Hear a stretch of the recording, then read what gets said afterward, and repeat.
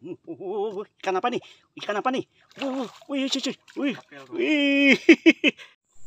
Assalamualaikum warahmatullahi wabarakatuh ya teman-teman kita mancing lagi ya di rawa air hitam nah, sekarang nih di pinggiran kebun sawit yang terendam ya karena banjir oke kita lanjut siapa tahu dapat ikan yang banyak